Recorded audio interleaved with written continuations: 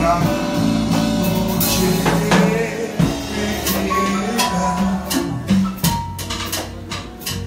desde el azul del cielo la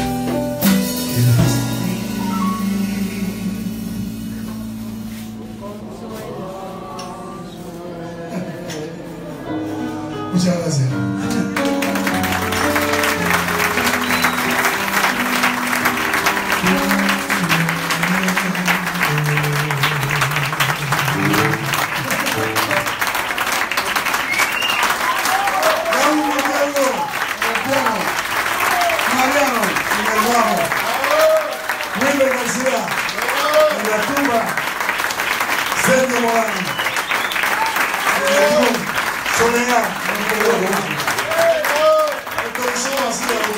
para arriba. Para los hombres ahora, esto es para los hombres. Miren lo que tienen al lado. Miren lo que tienen al lado. Miren lo que tienen al lado. Se lo estoy diciendo ahora. Mírenlo.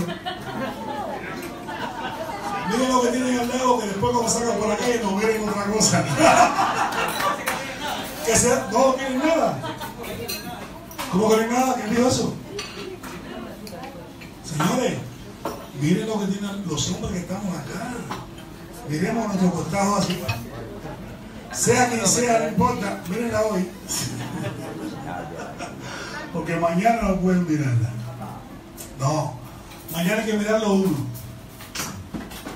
Hoy está permitido por mí, yo, este de acá, Ibrahim Ferrer, general, más conocido por Ibrahim Ferrer Jr., autorizo a todos los hombres que estamos acá a mirar para los contados a lo que nos corresponde y lo que no nos corresponde.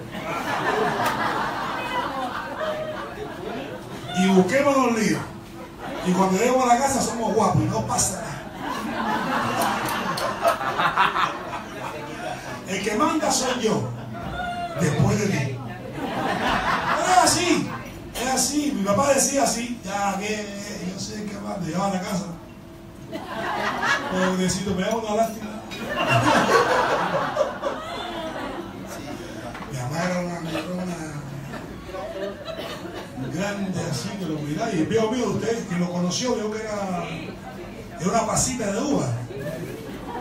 Yo le puse pequita agria, ¿viste? Era, no, sí, porque era chiquitico, bajito, pero con un corazón así. Entonces, siempre estaba enamorado. Bueno, somos seis hermanos. Fuimos seis hermanos. Íbamos a ser nueve. Suerte. Suerte. Y cuando ella venía no esperaba cuarentena y todos negamos un año. Un año, yo tengo una hermana mía que casi hija conmigo, tenemos 10 meses. ¿Eh? ¿No me creen? O sea, voy a la candela, siempre estaba viendo por los costados. tengo un hermano ruso, tengo otra cosa, aquí por donde te quieras, y Ferrer. Tú me dices, tú tienes una semilla así, un Ferrer. No, no, no, no se busque, le digo. Ah, como el viejo mío, después que le pasó todo que le pasó, dijo, Óigame, compadre, no dejes camino por coger la vereda.